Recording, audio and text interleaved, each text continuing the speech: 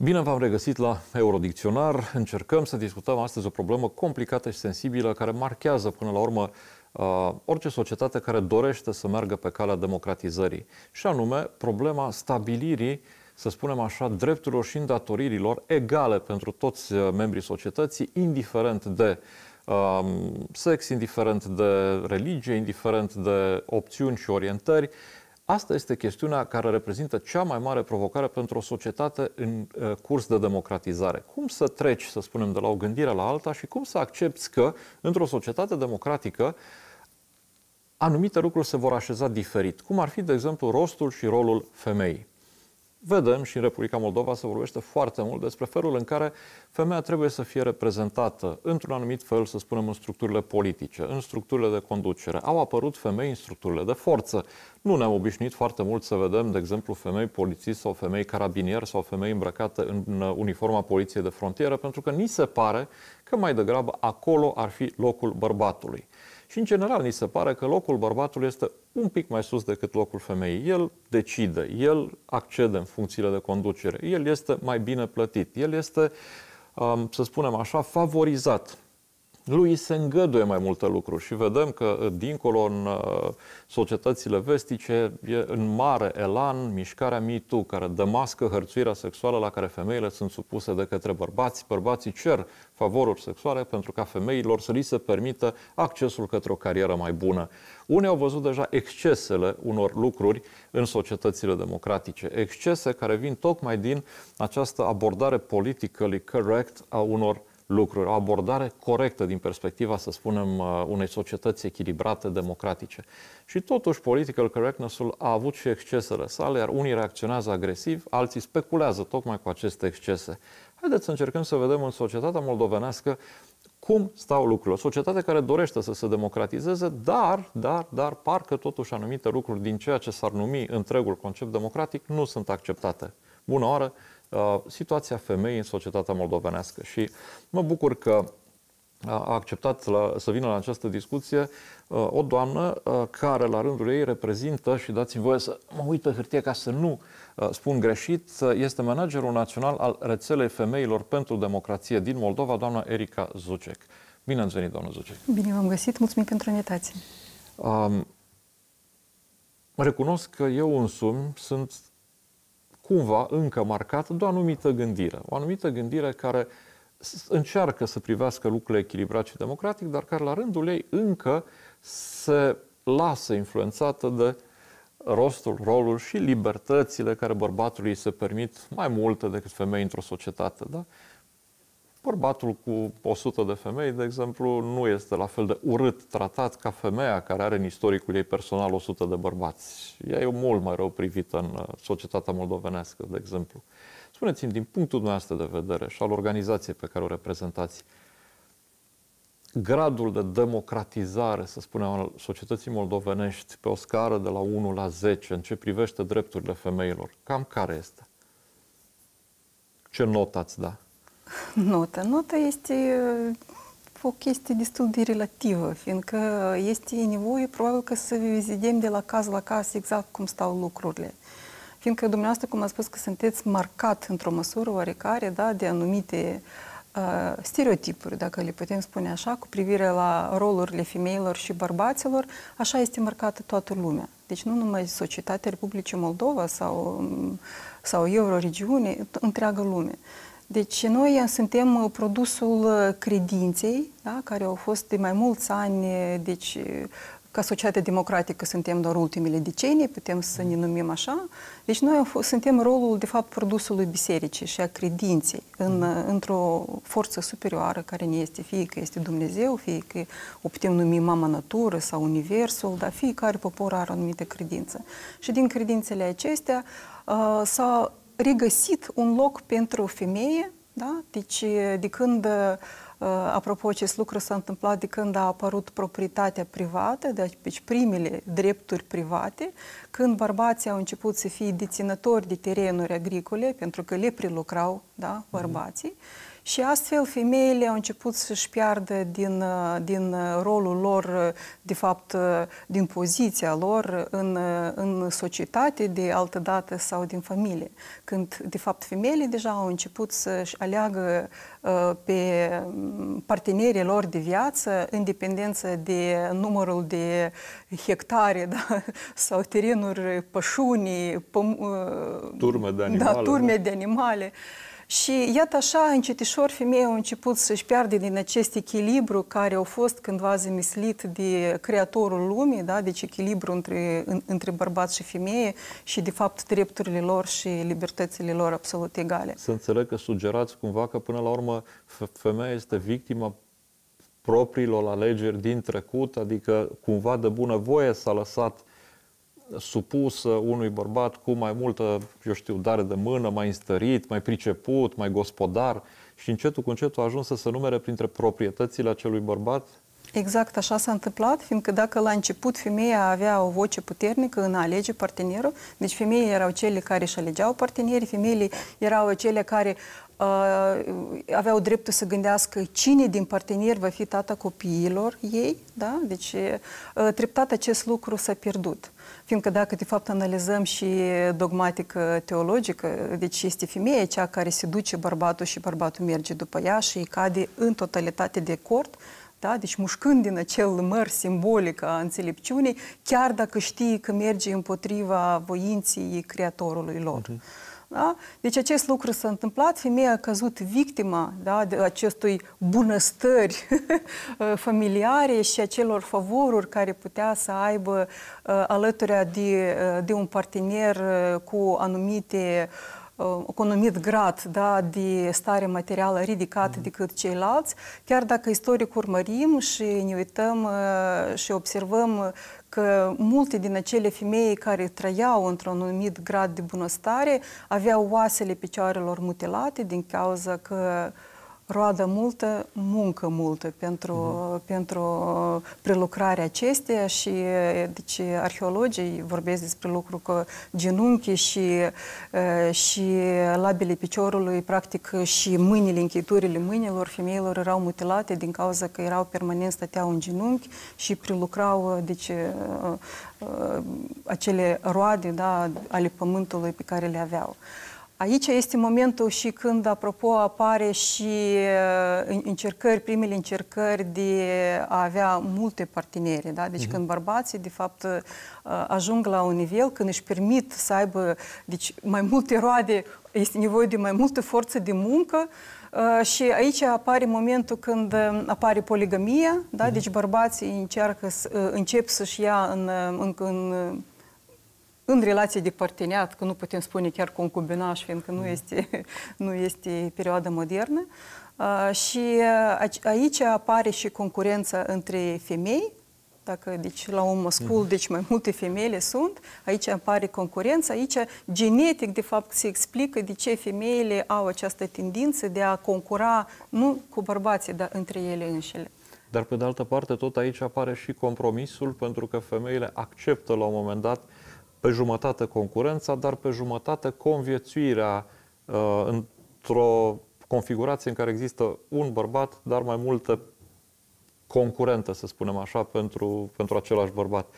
Și apare un soi de compromis care, în timp, uh, pare să fi generat, și nu știu dacă sunteți de acord cu mine sau nu, pare să fi generat situația în care bărbatul obișnuiește, se obișnuiește să ceară anumite favoruri pentru a oferi anumite beneficii. Uh, și atunci, cumva, rolul femeii scade și este redus la această postură în care, dacă vrea ceva, trebuie înainte să ofere ceea ce bărbatului îi convine, după care o serie întreagă de discriminări. Femeia nu mai accede la pozițiile foarte înalte, meritele ei nu mai sunt recunoscute ca fiind egale cu ale bărbatului, uh, plata pentru ceea ce face nu mai este egală cu a bărbatului și, în general, ajunge într-o zonă socială destul de limitată, în timp ce bărbatul are mult mai multă libertate.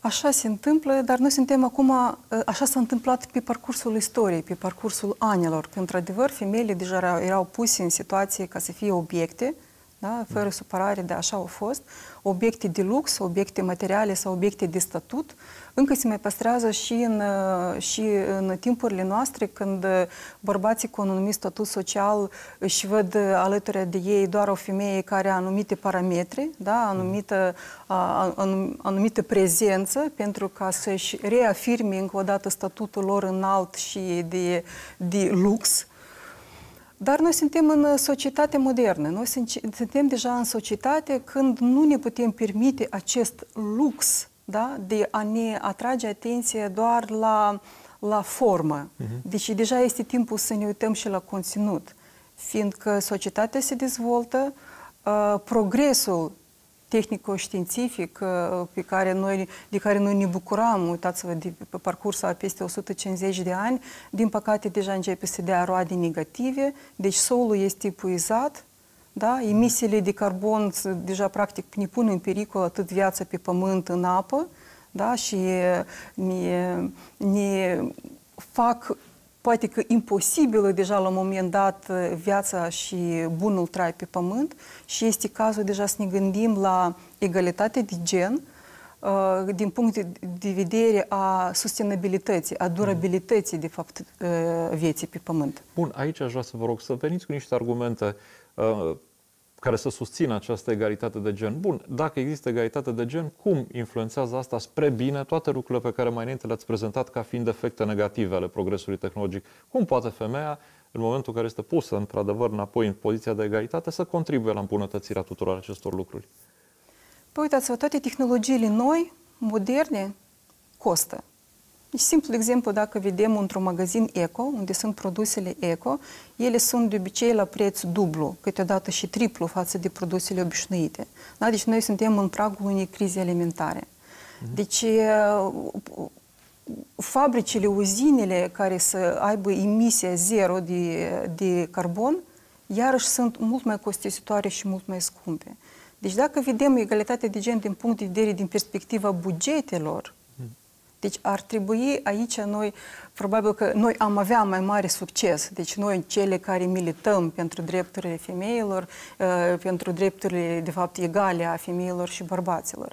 Deci tehnologiile costă, pentru acest lucru este nevoie să fie bugetele statelor să fie mărite, să fie mm. considerabil, da, deci umplute nu numai de o jumătate de populația lumii, dar și cealaltă jumătate a populației lumii, care sunt femeile, deja este nevoie, deci nu este un lux, deja este necesitate absolută ca ele să fie implicate la fel în economiile țării pentru ca să achite bugetele la stat, astfel ca statele să poată să-și reorienteze economiile lor da, și tehnologiile lor spre, uh, spre o uh, durabilitate, într-adevăr, a, a vieții pe pământ. Recunosc că nu m-am așteptat ca acesta să fie primul argument, un argument foarte pragmatic și foarte greu de respins, dar până la urmă e un calcul pe care trebuie să-l faci.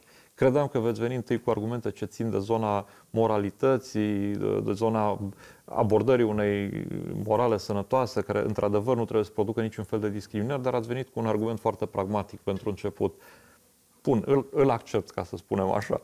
Și mai departe, cum anume ar trebui să convingeți, de exemplu, un bărbat uh, deschis la dialog, dar totuși încă marcat de stereotipuri, să nu vadă niciun fel de diferență între specialistul bărbat și specialistul femeie pe aceeași problemă, să nu dea prioritate bărbatului neapărat, să nu-i dea bărbatului un salariu mai mare, ci să accepte în egală măsură că poate lucra foarte bine sau poate chiar mai bine cu o femeie decât cu un bărbat pe o anumită problemă.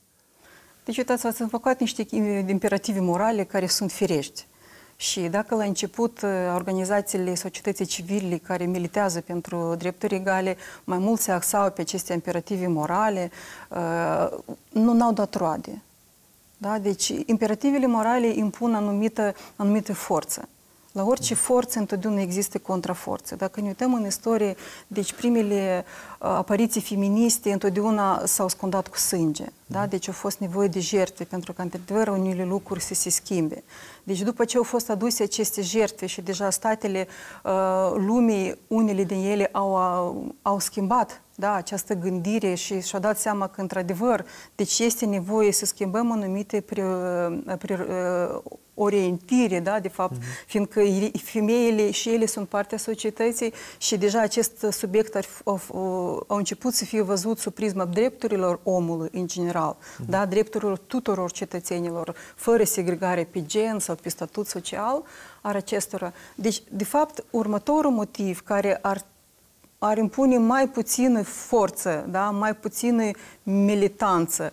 Deci ar fi acela că anume aceste dezagregări sau aceste uh, inegalități, dacă le putem numi uh, cu privire la, uh, la venituri, da? la veniturile și, și bugetele familiei, de fapt uh, uh, ne arată sau ne deschid o poartă spre foarte multe inegalități. Uh-huh. Deci venituri mai mici, asta înseamnă că femeile nu își pot permite produsele de, de o calitate înaltă. Venituri mai mici, asta înseamnă că femeile nu sunt uh, în situație de securitate, fiindcă statul nu poate fi văzut doar din prisma securității armate uh-huh. sau militare. Statul este, de fapt, asigură și securitatea energetică și securitatea apei, apei potabile. Uh-huh. Deci apă potabilă și securitatea energetică, accesul la, acest, la această resursă, cum, cum este, de exemplu, gazul, este iarăși contra cost. Mm. Și dacă ne uităm în satele Republicii Moldova, unde stau femeile, unde trăiesc femeile singure, fiindcă durata de viață, da, speranța de viață a femeilor este mai mare decât a bărbaților, femeile sunt cele care sunt la limita sărăciei și nu au această securitate alimentară, securitate energetică și nu au acel acces minim la apă potabilă pentru ca să nu-și pună viața lor în pericol iarăși o abordare la care prea puțină lume se gândește și care nu poate fi contrazisă, e adevărat, toate aceste lucruri se bazează pe fapte reale, pe existența însăși, cuantificată de studii, de cercetări, așa este într-adevăr. Bun, cum poți convinge și pe cine trebuie să convinge așadar într-o societate uh, că trebuie să schimbe percepția în baza acestor argumente, chiar și în baza argumentelor de ordin moral, chiar dacă acelea rămân discutabile și în general sunt uh, puse la la o parte, așa nu se prea discută despre asta. Pe cine trebuie să convingi că da, așa ar trebui să fie? În primul rând, trebuie noi să ne înțelegem, fiecare cetățeni, fiindcă, de fapt, dacă putem foarte ușor să dăm vină acum sau să aruncăm uh, mingea da, pe terenul guvernărilor lumii, guvernelor lumii, deci acest lucru, guvernele lumii, sunt, suntem noi oameni. Da? Deci noi alegem guvernele, deci noi alegem puterile, noi alegem, noi le dăm mandatul nostru de încredere partidelor politice care guvernează țările.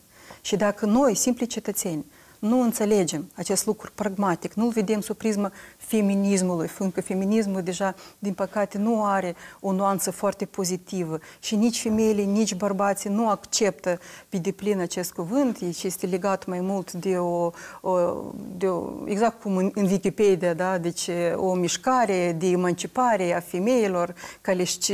Însăși denumirea induce o segregare. În momentul în care spui feminism, deja e separat pe femei. Exact. Da. Și atâta timp cât la, uh, la, în funcție de luarea deciziilor în majoritar în statele lumii sunt încă bărbații, deci nu putem aborda problema sub prisma feminismului. Deci este, mi se pare că cel mai corect să, uh, să abordăm sub prisma anume a pragmatismului economico-social a lucrurilor.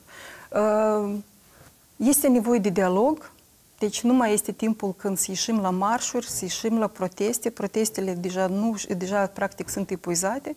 Nu mai este o formă de dialog constructiv cu guvernele țărilor. Este nevoie de cât mai mult pragmatism, de cât mai multe argumente, de calcule fixe, da, exacte, de cifre, da, deci gândire puțin bărbătească legată de pierderi și, și câștiguri Uh, și în acest caz, într-adevăr, uh, cauza femeilor, de fapt, nu o să fie văzută ca doar a femeilor, dar va fi văzută ca cauza de supraviețuire a vieții pe pământ. Da, adevărat că uh, se mută cu totul accentele, pur și simplu vorbești despre supraviețuirea unei jumătăți din populația Pământului, uh, indiferent de, de, de apartenența sexuală. Da, acea jumătate mai prost plătită este mai vulnerabilă, este în pericol și atrage după sine o serie de efecte negative care, până la urmă, influențează pe toată lumea. Nu poți să crezi că o jumătate va supraviețui bine în timp ce cealaltă supraviețuiește mai prost. Global, lucrurile nu pot să stea așa. Um, bun, dar această abordare... Iertați-mă, ați vrut să ziceți ceva. Am vrut să mai zic ceva că, deci nu putem vorbi despre politica forței, politica mușchilor, da? Deci vorbeam despre, despre politica dialogului, de fapt, dar um, uh, mi se pare că este important încă aici să, ad, uh, să aducem argumentarea că nu vorbim despre jumătate de populația lumii, da? Deci, iarăși, segregăm bărbații și mhm. femeile. Deci, uh, până acum... am spus că jumătatea masculină și cea feminină. Am zis doar jumătate. Așa, okay. indiferent din ce să compune acea jumătate. de nord și emisfera de sud. De exemplu, sau cea de est și cea de vest. Că, mă rog, și vectorii ăștia să tot ciocnesc cu noi. Am ocolit ciocnirile și, și în acest aspect. Uh, însă, uh, guvernările de până acum a țărilor lumii nu și-au dovedit eficiența. Pentru că în lume tot mai mult se simte această discrepanță, aceste inegalități. Da? Deci când masa monetară este deținută de undeva la 10% din populație, masa din mijloc, de fapt, a țărilor, care este cea care amortizează, de fapt, inegalitățile profunde, cum ar fi sărăcie și bogăție, începe să dispară.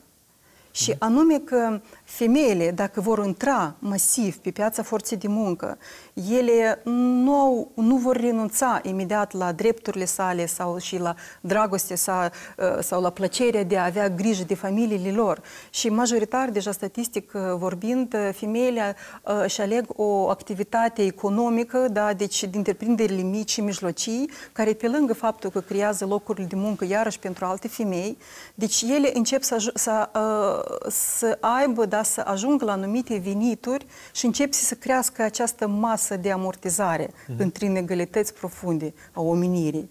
Și atunci deja nu putem să vorbim despre două poluri diferite în societate, dar putem să vorbim ca nume că fiecare cetățean se va simți da, mai în siguranță, pentru că o jumătate a populației țărilor va intra pe piața forței de muncă și, în primul rând, că vor dispărea aceste decalaje între uh, salariale și decalaje de venituri și va fi deja o stabilitate, atât politică cât și militară a țărilor. Bun, în fața acestei argumentații vă propun să ne întoarcem puțin acasă în Republica Moldova, într-un spațiu în care um, Tradiționalismul este un cuvânt acceptat și prețuit. Familia tradițională. Vom vedea pe parcursul anului 2018 că se va pune foarte mult în discuție familia tradițională, biserica va veni în sprijinul ideii de familie tradițională, iar uh, familia tradițională uneori se simte amenințată tocmai de această emancipare a femeii, inclusiv egalizarea aceasta financiară, care, în viziunea tradiționaliștilor, îi oferă femeii posibilitatea de a fi foarte independentă, de a trăi de sine stătător, în afara familiei tradiționale, putând părăsi oricând un soț de care nu mai depinde material, uh, cu alte cuvinte, rupând puțin valorile tradiționale. Aici, cum veți dialoga? Ați zis că doriți calea dialogului. Credeți că biserica, de exemplu, va avea deschiderea necesară pentru a nu vedea în abordarea noastră un pericol pentru, de exemplu, familia tradițională? Interesant aspect. Deci, dacă femeia va dori, ea va putea să părăsească cel soț, da? Pentru... Da, pentru că nu mai depinde material de el.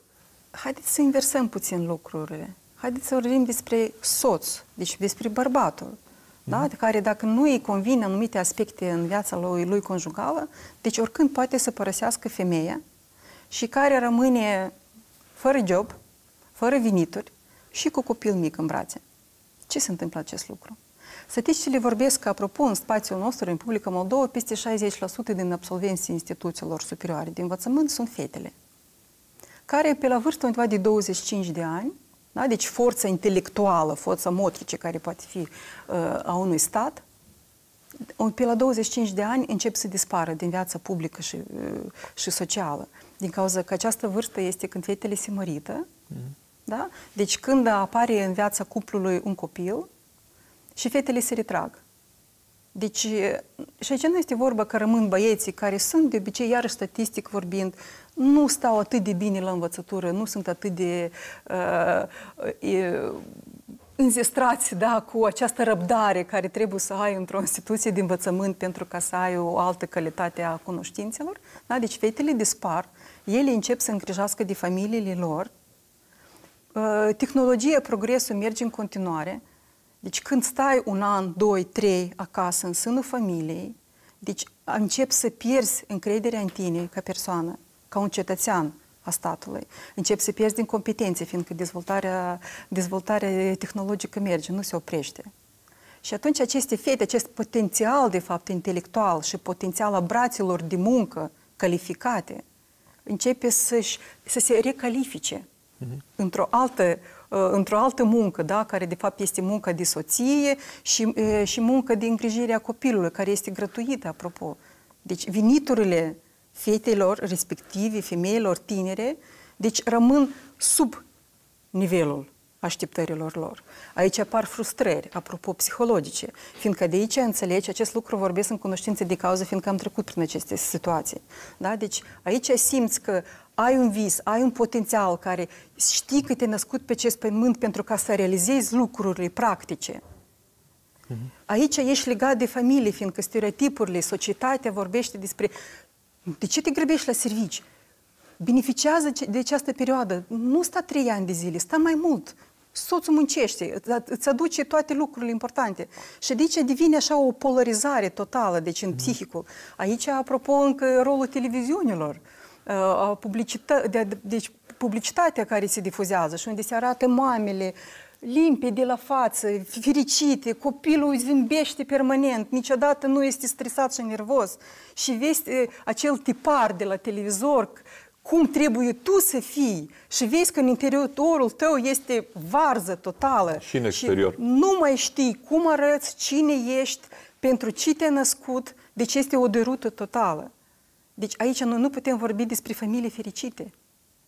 Fiindcă femeia care nu a depășit stresul postnatal și care luptă în interiorul ei cu ceea ce simte că pe, pentru ce au venit pe pământ și ceea ce de fapt se impune de către societate, deci aici, de fapt, stresurile respective, bineînțeles că influențează și bărbatul.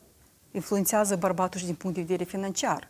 Fiindcă un bărbat cu psihicul, sau nu neapărat bărbat, persoană cu fizicul, ă, cu psihicul instabil, nu poate fi limpede la, la luarea anumitor decizii corecte în viața lor, inclusiv, ă, lui inclusiv și, ă, și în, din punct de vedere material.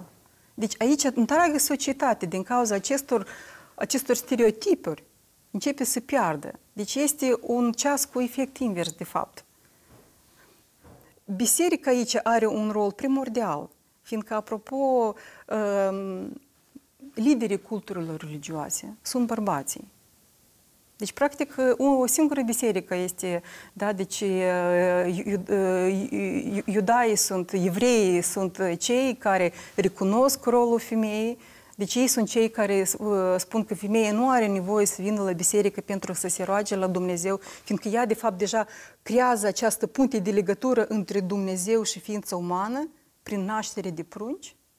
Da? Și atunci bărbații sunt cei care ar trebui să vină să se închine și să se roage la Dumnezeu pentru ca să, să echilibreze această, acest, această, uh, acel decalaj da, între sfințenie, între suflet, da, între această flacără sfințenie în fiecare om și această fire pământească pe care o reprezintă. E adevărat rest... că aici e o întreagă dispută, inclusiv în interiorul creștinismului, unde știm foarte bine, Mântuitorul Lumii se naște din femeie și totuși biserica e condusă de bărbați. Uh, da, e o, e o problemă. Există încă multe de discutat. Um, suntem foarte aproape de finalul acestei emisiuni în care ați spus foarte multe lucruri. Deja pe care... final? Da. Asta mi arată că încă ar mai fi multe de vorbit și trebuie să vă smulg o promisiune că ne mai întâlnim la Eurodicționar și mai continuăm această discuție.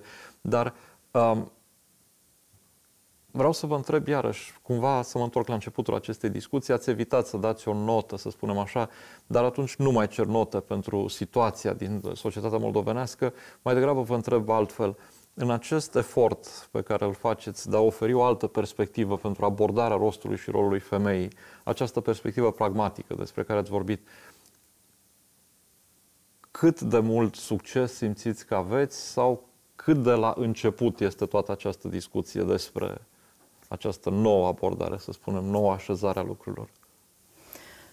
Sunt, eu aș spune că undeva, dacă tot vorbim despre note, haideți să spunem așa un șapte ferm, probabil că merităm la moment, fiindcă avem acordul de asociere cu Uniunea Europeană, avem acolo prevederi cu privire la reducerea inegalităților și cu privire la egalitatea de gen între bărbați și femei. Avem, uh, de fapt, strategia guvernului, da, 2016-2018, care iarăși vorbește despre despre stabilirea cadrului legal pentru promovarea femeilor în funcție de luarea deciziilor, de reducerea inegalităților tuturor grupelor marginale, între care cel mai majoritar este grupul femeilor. Și atunci, deci, de ce aș da un șapte din cauza că la moment avem legea aprobată cu privire la poziționarea femeilor în funcție de luarea deciziilor și cu privire la Reșind din faptul că partidele politice, de fapt, sunt acel filtru da, puternic care fie promovează, fie permit femeilor acest, această promovare în funcție de luarea deciziilor la diferite nivele locale, regionale și naționale, tot ele la moment și, reprezintă și un un uh, filtru prea dur din cauza că pe, pe o parte avem uh, această prevedere, această uh, cotă de participare pe listele electorale de 40% și pe de altă parte noi avem poziționarea femeilor, ceea ce ar presupune că în, primi, în, pe locurile eligibile pot fi exclusiv bărbații, mm-hmm. da? și pe locurile neeligibile a două jumătate a listei pot fi și, și de fapt invers 60% femei. Uh, Uh, dar această, uh, acest lucru, această prezență lor nu va schimba balanța. Uh-huh. De ce este important ca femeile să fie în Parlament sau de ce este important ca femeile să fie în funcție de luarea deciziilor alături de bărbați? Fiindcă femeile abordează problemele diferit.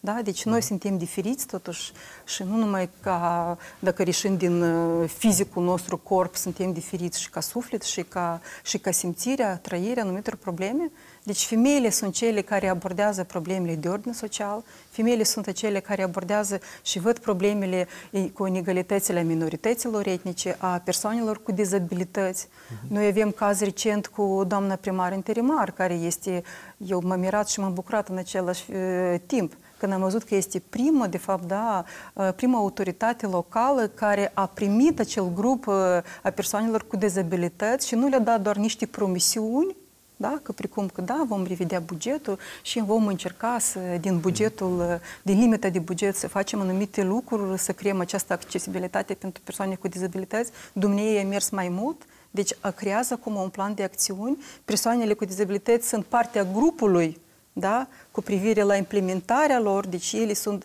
deci persoanele vor fi cele care vor monitoriza implementarea planului. Deci putem uh, să spunem că este o coincidență, că poate doamna vrea să se afirme, fiindcă este interimar, da? deci nu este un primar ales uh, legal și poate vrea să-și facă o platformă pentru 2019, pentru alegeri locale. Acest lucru noi vom vedea în cel mai scurt timp, într-un an jumătate, dacă într-adevăr se schimbă lucrurile sau nu. Dar însuși faptul că femeia a pronunțat aceste lucruri și a întins de fapt o mână, da? au creat această punte uh, cu acel grup uh, dezavantajat, care de fapt sunt aproape 200 de mii de persoane, cu dizabilități în Republica Moldova și marea majoritate a lor, peste 70% locuiesc în municipiul Chișinău și nu au o nouă posibilitate, nouă accesibilitate normală, firească, să se bucure de drepturile și libertățile unui cetățean. Înțeleg. La final, o ultimă întrebare, mai sensibil așa, dacă doriți cât de ușor este unui bărbat să recunoască faptul că Erika Zucek poate fi mai inteligentă decât el și poate să conducă mai bine anumite lucruri, de exemplu. Au fost bărbați care au cedat în fața noastră și au zis, da, ai dreptate? Uh, eu nu accept poziție de forță, da? deci poziție de competiție. Deci eu nu sunt de părerea că dacă sunt femeie și simt că anumite lucruri în societate sau în lumea întreagă trebuie să fie modificate, asta nu înseamnă că trebuie să-mi arăt mușchi, da, testosteronul. Testosteronul este specific pentru bărbați. Deci niciodată nu sunt într-o competiție, întotdeauna încerc să adaug valoarea persoanelor care sunt lângă mine, indiferent de ce sex ar fi aceste persoane, pentru ca persoana să se simte bine, da? Și persoana se simte importantă. Apropo, acel lucru, deci este Ronald Reagan, a fost un marele maestru, când o persoană, se, indiferent cine n-ar fi ea, se întâlnea și discuta cu ex-președintele Statelor Unite, întotdeauna pleca cu sentimentul cât de important și cât de valoros de fapt, nu este președinte, dar el însuși. Deci, probabil că această artă ne lipsește puțin și nouă, da? Nu pentru ca să ne punem pe noi în valoare, figura noastră în valoare, dar să facem pe ceilalți din jurul nostru să se simtă valoroși. Mulțumesc mult! Gata, eu nu mai am nimic de adăugat, în afară de faptul că îi mulțumesc Erica Zucec pentru prezența în emisiune și noastră pentru atenția acolo acasă. Sunt multe lucruri de analizat după această discuție, așa că uh, sper că ne vom mai întâlni cu doamna Zucec și mai încolo și periodic așa mai punem în discuție niște lucruri, iar cu dumneavoastră ne întâlnim săptămâna viitoare. Până atunci, numai bine! Thank you.